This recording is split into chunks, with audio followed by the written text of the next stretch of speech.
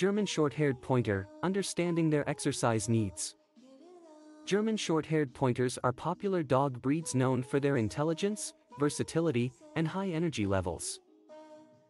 This breed was originally developed in Germany in the 19th century for hunting purposes, and their exercise needs reflect their working heritage. If you are considering bringing a German short-haired pointer into your home, it is important to understand their exercise requirements in order to provide them with a happy and healthy life. German short-haired pointers are an active breed that thrives on physical activities. They are not meant to be couch potatoes and require regular exercise to maintain their physical and mental well-being. A lack of exercise can result in various behavior problems such as excessive barking, chewing, or digging. Therefore, it is crucial to provide them with an outlet for their energy. One of the best forms of exercise for German short-haired pointers is running or jogging. They have a natural instinct to run, and they excel in activities such as agility, tracking, and field trials. These dogs are built for endurance, and they can easily keep up with an active owner.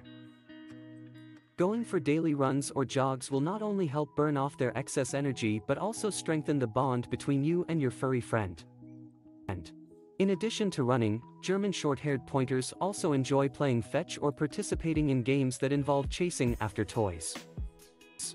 These activities not only provide physical stimulation but also give them a sense of purpose and accomplishment. Engaging in interactive play sessions will not only tire them out but also keep their minds sharp and active. While exercise is important, it is equally important to avoid overexercising German short-haired pointers, especially when they are still young and their bones are still developing. Overexercising at a young age can lead to joint problems, such as hip dysplasia or elbow dysplasia. It is recommended to wait until their growth plates have closed, usually around 18 to 24 months, before engaging in intense activities such as long-distance running or jumping.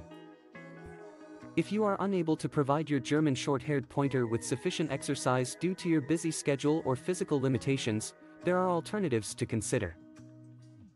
Hiring a dog walker or enrolling them in doggy daycare can help ensure they get the physical activity they need. Additionally, mental stimulation is just as important as physical exercise. Interactive puzzle toys, obedience training, or participating in dog sports can provide mental challenges and prevent boredom. Boredom. It is worth noting that German short-haired pointers are not suitable for apartment living or homes without a yard. They require ample space to roam and explore. A securely fenced yard is ideal for them to burn off their energy safely. If you live in an urban area, it is essential to find nearby parks or open spaces where you can take your dog for regular exercise.